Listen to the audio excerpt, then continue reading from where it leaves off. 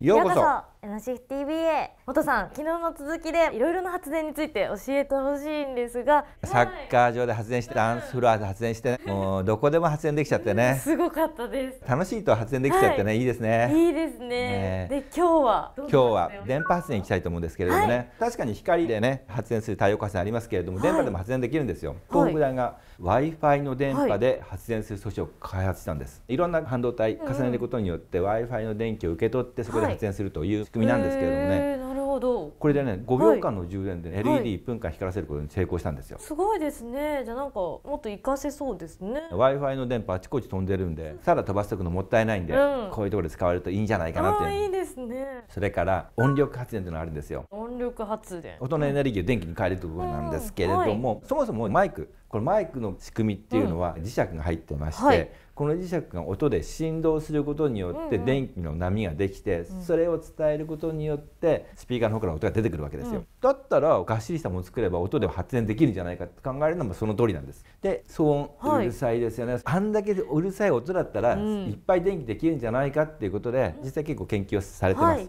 これまだ実用化先なんですけれどもね。じゃあ工事現場とかで。そうなんです。もううるさいだけなのうん。で電気にして返してもらうぞってね。ただね面白いのは音力発電という名前の会社あるんですよ。音力発電っていう会社があるんですか？スタートアップで結構資金も集めてるんですけれどもね、えー。この会社最初音力発電しようと思ったんです。あんまり電気できないんで、今波力発電とかそっちの別の違う方の発電にシフトしてるんですけどあねー。そうなんですね。それから次、はい。もっと変わったとこ植物発電。植物。バイオマスじゃないですよ。生物の体ってはい。実は電気流れてるんですよ、神経とか、はい。でこれ何かっていうと体の中にいろんなイオンが入っていて、電位差ができるわけですよね、うんうん。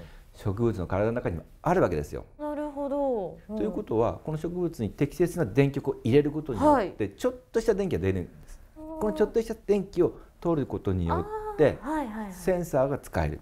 そうするとこのセンサーがデータをはい提供してくれることによって植物の生育状態とかっていうのが分かる。そういう利用の方法なんですね。そうなんですよ。自分のこと調べるのに、はい。はい。植物の自分で電気使ってデータ提供してくれるってとても便利かなという。そういうことなんですね。で植物で発電できるんだったら、田んぼで発電しちゃうってあるんです。えじゃあこれは植物発電と同じような？これちょっと違うんですよ。あまた違うの？田んぼ発電といっても稲で発電するわけじゃなくて、はい。田んぼの中には微生物いっぱいいるんですよ。田んぼの中にはいろんな有機物が入っててこれは微生物が分解してるんですよ、そうするとこの有機物を分解する時、はい。この時に発生する電気を利用しているのが田んぼ発電なんです。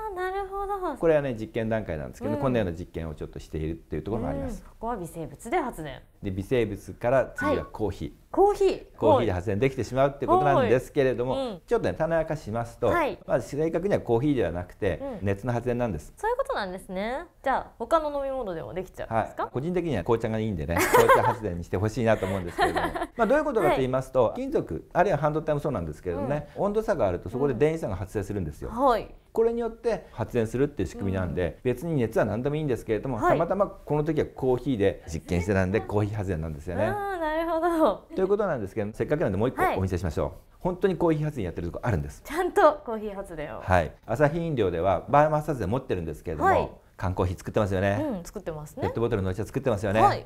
このコーヒーかす茶かすをこれバイオマス発電に入れてます。ですからアサヒ飲料で使っている電気のほんのはい。一部はコーヒー発電なんです、そうなんですね。あ本当にあるんですね。本当にあるんですこれは。おこんなような形で身近なエネルギーっていうのをうまく使うことによって、はい。例えばセンサーの電気とか、うん。そういうもののちょっとしたエネルギーをうまく使うことによって、はい。結構脱炭素できるんじゃないかなとまとめいきたいんですけれども、はい。身近なちょっとしたエネルギー、はい。これを発電に使うこれがエネルギーハーベスト環境発電なんですけれどもね、うん。注目されてます。発電量ほんのわずかではあるんですけれども、センサーとかはい。LED の点灯に使えるわけですよ、はい。ちょっとしたところで電源なくても明るいといいじゃないですか、うん。そういう可能性もある。